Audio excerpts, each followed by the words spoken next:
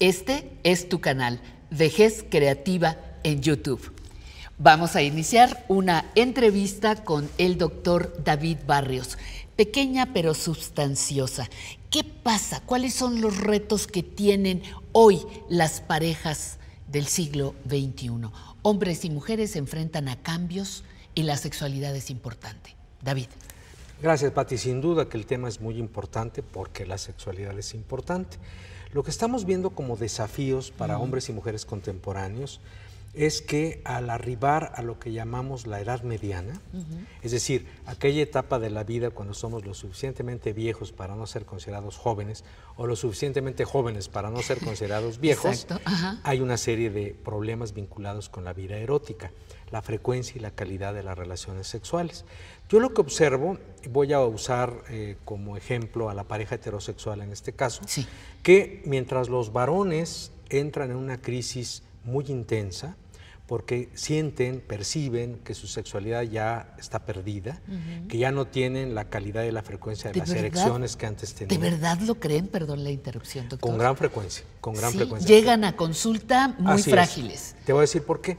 Porque la ansiedad de desempeño, Mm. este quedar bien, este cumplir con la consigna de que los hombres tienen que tener todo el tiempo deseo y todo el tiempo tener el pene en ristre, es algo que permea nuestra cultura. Entonces muchos hombres cuando advierten, ya sea por factores emocionales de autoobservación o como consecuencia de problemas orgánicos, como complicaciones de diabetes mellitus, hipertensión, depresión, etcétera, etcétera, eh, problema con las grasas en sangre y demás, cuando ya se menoscaba su respuesta sexual, sienten que eh, ya no la hacen y empiezan entonces a tener respuestas reactivas, respuestas emocionales reactivas. Una es evadir los contactos sexuales, otra es simple y sencillamente buscar otras parejas para probar su eficacia, su hombría, abro comillas. Otra es eh, de plano digamos, prescindir completamente de las relaciones sexuales y decir, esto ya se acabó. En el caso de las mujeres pasa un fenómeno distinto. Yo no digo que la crisis de la edad mediana también repercuta en las mujeres. Sí repercute, por supuesto que sí. La menopausia nos marca. Así es. Todo esto que tiene que ver con el síndrome climatérico y con la decaída de las hormonas que llamamos estrógenos, sí influye de distintas maneras. Pero el fenómeno es interesante porque muchas mujeres, lejos de ausentarse de su contacto sexual, lo ven fortalecido. ¿Por qué? Por varias razones. Una de ellas es que ya pasó el ciclo reproductivo. Es decir, ya no hay preocupación por algún embarazo no deseado. El otro es que a menudo estas mujeres ya tienen hijos e incluso nietos y ya eh, eh, todo lo que es la puericultura, los cuidados cercanos a los que dedicaron buena parte de su vida, ya quedaron atrás. Los hijos e hijas quizá ya se independizaron, ya andan en otras ondas, como decimos. Y también el hecho, desde luego, de que hay como mayor contacto con el propio cuerpo, mayor disposición de tiempo en muchos casos para poder estar consigo mismas. Entonces ven reivindicada su necesidad de tener placer erótico y están mucho más activas, sobre todo en el deseo. Pero date cuenta, si tenemos a la pareja heterosexual, donde este hombre siente que está en decadencia y esta mujer quiere revivir el impulso erótico, como que son líneas que se cruzan, que, que no se tocan, pues, y en un momento determinado puede originar, como lo hace, problemas severos en las parejas estables. ¿Cuál sería el reto en este momento? Para esa pareja en ese momento. Yo creo que dos cosas. Hay uno muy elemental, pero muy necesario, que es hablar claramente de esto. Porque muchos. ¿Verbalizarlo, dices? Por supuesto. Decir, no puedo, no quiero, no tengo ganas o lo deseo mucho. Así es. Porque muchos varones eh, somos, decimos que somos valientes, pero somos muy miedosos para afrontar realidades.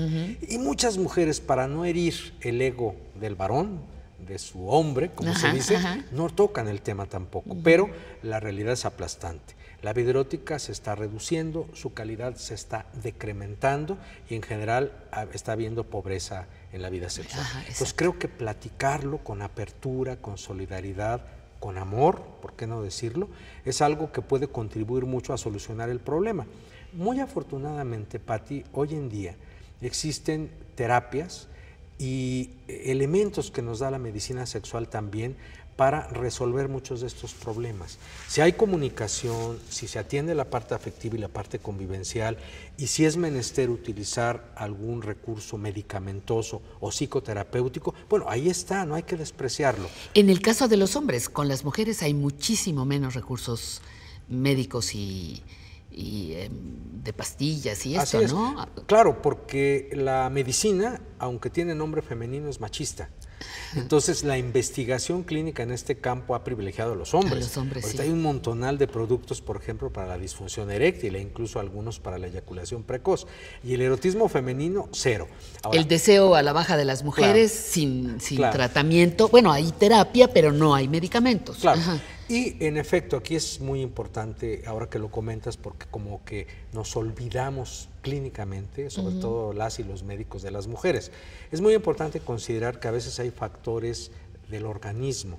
Hablo, por ejemplo, de problemas con los órganos de eh, llamados glándulas de secreción interna, todo lo que ocupa la endocrinología. Pensemos, por ejemplo, que la diabetes mellitus, que el hipo y el hipertiroidismo, que la depresión, que sabemos que es un problema neuroquímico, son factores que en efecto menoscaban el erotismo femenino, pero por fortuna son susceptibles de ser atendidos. Y por otro lado están los asuntos psicoafectivos y emocionales.